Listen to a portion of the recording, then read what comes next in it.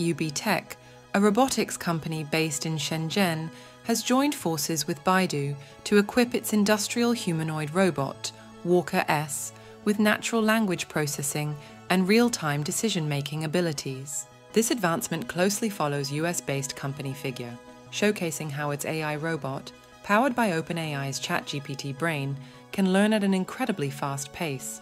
The abilities demonstrated by Figure 01 indicate a notable transition towards humanoid robots, integrating smoothly into human society. These robots can aid in everyday chores and have potential applications in sectors such as healthcare, manufacturing, and hospitality. Walker S aims to compete with Figure 01, Eve from 1X Technologies, and Phoenix from Sanctuary AI by demonstrating its abilities in conversation, folding, and pick and place tasks. UBTech's Walker now uses Baidu's Ernie Bot, a knowledge enhanced large language model, through the use of App Builder for natural language understanding and task execution.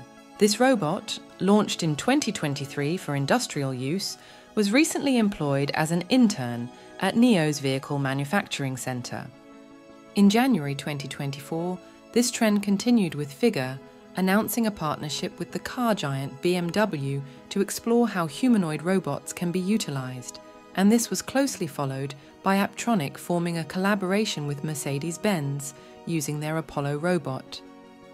Walker S is believed to be an advancement of UB Tech service robot, Walker X, a humanoid robot equipped with a sophisticated 4-eye system and dual RGBD sensors, providing unmatched perceptual abilities. It features a 7 degrees of freedom robotic arm and a 6 degrees of freedom force controlled hand that mimics human like movements, offering superior precision and dexterity in task execution. UB Tech highlights the humanoid's exceptional object scene recognition and sorting capabilities, ensuring efficient functioning in diverse settings. Furthermore, Walker X can interact seamlessly with home appliances like refrigerators, coffee machines, and vacuum cleaners, demonstrating its practicality and adaptability in daily tasks. Walker X stands out in terms of flexibility and motion control, performing complex movements while maintaining stability through precise balance control. It can carry up to 10 kilograms of weight or walk while holding 3 kilograms in each hand.